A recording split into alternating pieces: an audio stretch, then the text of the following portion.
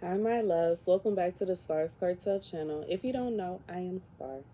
Um, as I said in my live stream, y'all don't judge me for not having lashes on. I can't find my lash glue. I gotta buy some more. But I already did my makeup, so I'm just gonna leave it. Okay. Now that that's out the way. Today I'm here with a dream. In this dream, I was back in school. So uh, while I'm at this school, I um find out that I have to pass a test. Like there's some kind of test that I have to do. It's some kind like and it's a big test. And I'm really trying to study and I'm trying everything that I could possibly do to make sure I pass this test. While I'm dealing with this, it was like every single person that I ever got into it with um in high school was like present and harassing me and competing with me and it was like I had to deal with that while trying to get everything together so I could pass my test. So, um I have a hard time juggling all of that. Like that's basically what the dream was. I was trying to juggle all of that at the same time. The scripture God sent me to comes from Jeremiah 51 and 6. Flee out of Babylon. Let each each one save his his life Perish not for her guilt. This is a time of vengeance for the Lord, but pays her her due. Okay, God is telling me to stop right there. So I feel like um so the message God is saying is the goal, like the big goal, this test that we have to pass is like um in symbolism the test is us um, when we pass that test we get to be in heaven with our heavenly father. And i feel like um,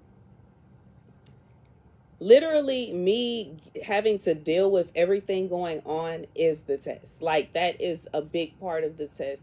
Um, it's not just about accomplishing whatever it is that god has put up on your life whatever kind of mission whatever kind of um, destiny that you have to fulfill in life. Like that's part of the test too. But um, in reality, it's how you deal with everything that's going on around you. How do you deal with someone competing with you? How do you deal with someone messing with you or picking on you or bullying you or whatever it is that you had to deal with or that you have to deal with on a daily basis? God is saying your reaction is a big part of your grade. It's a big part of your test the next part um let each one save his life god is saying that um and perish not for her guilt i feel like god is saying just because there are a lot of things going on around us in the world today um that it doesn't mean that we have to join in on it. Like just because we see someone else doing some kind of sin doesn't mean that we have to do that sin too or you know to try to fit in or to be like that person. God is saying that um like how I saw it in that dream was I was just trying to focus on the goal that God gave me while I was having to deal with other people um doing their thing and then on top of that trying to stop me from doing this thing. And I just feel like God is saying um sometimes you have to stop looking at it like the big picture is just you finishing that goal because that goal is going to be completed. I feel like when um, God is saying whatever it is, it is going, you're going to accomplish that. However, um, if you are in this angry, like angry mode. Like you're mad at everything. Everything is making you upset. Everything is ticking you off. It, like it's just how the bottles just pop. Like you're a ticking tick tick tick tick boom. Like I just feel like God is saying if you're always allowing the things that happen around you to affect your mood in such a way that you are always upset, you're always sad, you're always miserable, um, you're always grumpy. You are literally um allowing your life like that's how you're living your life because just because you achieve whatever goal you have just because you achieve whatever dream it doesn't mean that life stops. It doesn't mean that all of a sudden there are no bad days. All of a sudden there are things that um things that you know may happen around you that may upset you you know? Um just like I am doing something that has always been a dream to me, but it doesn't mean that my life is just perfect and everything is going good for me and every day is just you know, every day is exactly the way I want it to be. I cannot control certain things. And, you know, I feel like God is saying that you should realize that you cannot control certain things. And life is never going to be perfect. Um, and because of that, God is saying sometimes He sends certain things your way to test you just to test you. Are you going to be patient? Are you going to be calm? Are you going to allow it to ruin your entire day? Sometimes things can happen and it can be something to really make you so upset. But in reality, regardless if it's something that makes you really upset or not, it's something that happened. You can't control it.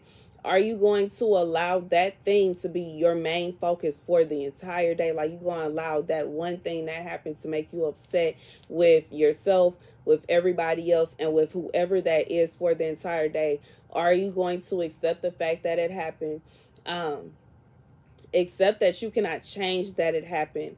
Either try to find something to solve that problem, solve that situation, and move on um, or you know accept that you can't change it and move on and i just feel like god is saying for somebody you are allowing um, every little thing that happens around you to make you angry to the point that you cannot um, enjoy your life you know because sometimes we we you could literally be doing everything that you ever dreamed of doing and having everything you ever wanted to have and still find something wrong. Like there's always going to be something wrong. That's just like um, when you clean your house. You clean your house and it's clean for a second. Something always happen, regardless if it's um like dirt or sand being tracked off the uh the on the floor for from shoes or you know maybe you spill something maybe you have pets maybe like whatever you have kids okay? If you have kids your house is always gonna look lived in because it's always toys everywhere. And i just feel like god is saying that um it is never going to just be perfect. You're always going to be solving something. You're always going to be cleaning something up. You're always going to, it's always going to happen. So it's no need to be allowing that to make you miserable and make other people around you feel miserable because they're trying to figure out why you're miserable. And you know, in reality, God is saying, don't allow what's going on around you in the world to cause you to sin, to cause you to, um, you know, do bad. And, you know, in reality, just because somebody is doing something, it doesn't mean that you're going to do it. And, you know, you have to remember that you also have to remember that um, everything that is going on around you cannot it, it shouldn't affect you. You know once you allow someone to change your mood or control how you feel you are allowing them to control you. And god is saying you have to be careful of that. You have to be careful of giving away your power to other people Okay, and last but not least, this is a time of vengeance for the Lord. He pays her her due. So God is saying, whatever you put out, that's what you're receiving back. Whatever, like, your actions control what happens in your life. So if you are going around and you're doing wrong to other people, you're doing bad, God is going to pay you your due for that. But if you're going around and you're doing good, you're giving out love, you're giving out um encouragement, joy, and you're you're just really trying to be a good person. You know, um, I even hear God saying living humbly, like you're not really trying to like how do I explain it? It's like the competing, like the competing aspect of this dream. There is no competition. We are not competing with anybody. It's not a situation to where um, we both can't be good because if we're both good, then somebody's not going to get to go to heaven or somebody like that's not the goal. The main goal is to be with our Heavenly Father. So we don't have to feel as though we're competing with somebody. Nobody is better than the next person. In reality, everything that we do is for God's glory.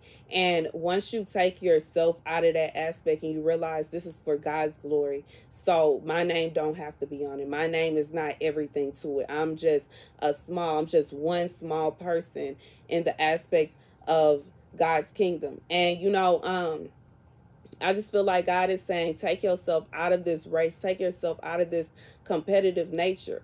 Because even the way that you react to what people are, you know, people are doing around you, just because somebody is competing with you doesn't mean you have to compete back with them. You you could encourage them, you could like genuinely be happy for them or you know whatever it is because in reality when someone is competing with you it's just because they want to do well and you know you want to do well. Um if you want to you could even acknowledge it and say that like let them know I'm not competing with you. Um or let them know I think you're doing great or you know just something to kind of steer them steer them away from that competitive nature because that competitive nature is not of God. God is love and everything is for God. Everything is for him. So we are not um it's no reason for us to be competing with each other. And, you know, that's the message, y'all. Thank you guys for watching. Be sure to like, share, and subscribe. Thank you to everybody who joined me on my live stream. I love you guys so much. And I did have fun with y'all. I'm going to try to go live again either later this week or next week. Um, and uh yeah, thank you to everybody who um bought me something from my wedding registry. Thank you guys so much. I really appreciate it. I cannot wait to get it and I'm definitely going to give a shout out if there's someone I don't know if it has it where y'all can leave y'all names on there so that I know who gave me what cuz I do want to give y'all a shout out and you know a, a proper thank you. You know um and Thank you to everybody who donates. I really appreciate it. And I love you guys to bits and pieces. I will see you guys later. Deuces.